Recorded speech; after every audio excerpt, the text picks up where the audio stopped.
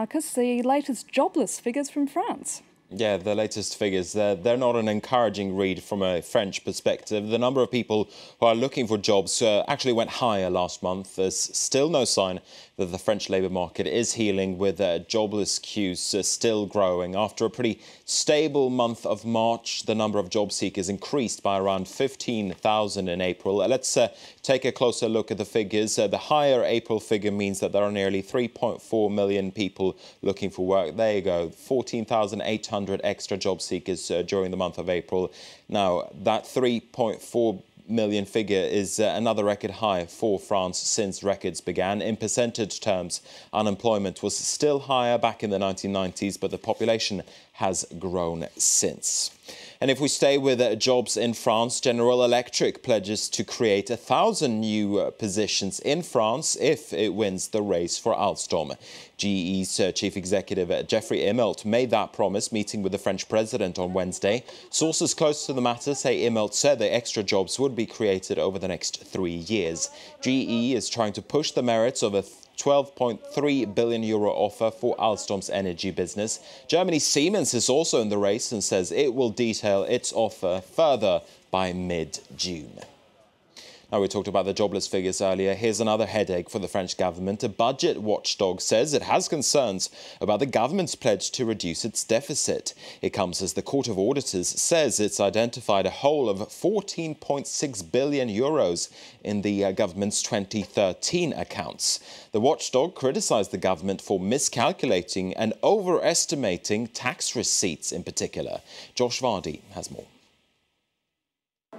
An awkward exit from the Elysee for France's finance minister. Michel Sapin chose to dodge reporters' questions over Wednesday's revelation that the government faces a huge deficit on its 2013 revenues. Government tax revenues have been increasing over the past four years, but at a much smaller rate than expected. That's left a gap of almost 15 billion euros between projected government figures and reality. If there is a gap, it's because the growth we had anticipated was not met. Euh, n'a pas été euh, au rendez-vous. The government originally projected the French economy to grow by 0.8% in 2013. However, it's ended the year with only 0.3% growth. Lower taxes on businesses have been blamed by the socialists for the less than expected figure, but a drop in household spending also brought in less VAT. The opposition say it's proof that too much tax kills revenues. Uh, the more you raise tax, the more you send a uh, signal to households and businesses that you have to save money in order to pay uh, taxes. The French Court of Auditors have reprimanded the government, calling their projections wildly inaccurate. Internationally, the deficit could prove embarrassing, especially after promises to Europe and creditors that France would take important steps towards reducing the country's debt stock markets next and in the United States this hour. We've seen the S&P 500 uh, going uh, positive.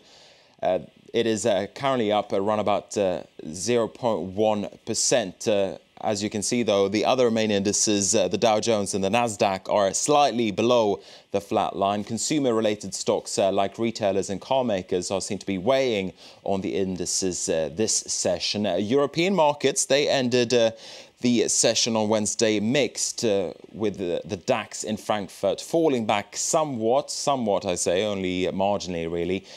That index was uh, weighed by weaker than expected unemployment figures from Germany. The number of jobless in Germany increased by 24,000 in May.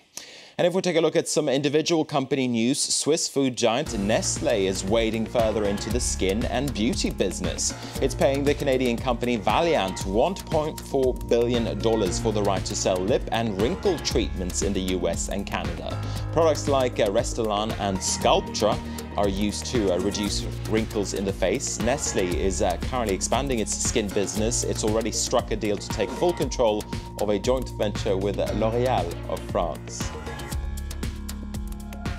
Shares in GlaxoSmithKline came under pressure during Wednesday's trading in London. It came after Britain's Serious Fraud Office said it had launched a formal investigation into the British drug maker's business practices. The SFO isn't providing any further details at this stage. It follows two weeks after Chinese police charged the former boss of GlaxoSmithKline's business in China of corruption. And we're going to finish up with this. Google is steering towards a new business segment, unveiling plans to build self-driving cars. The company says uh, the vehicles won't have a steering wheel and they won't have any accelerator or brake pedals.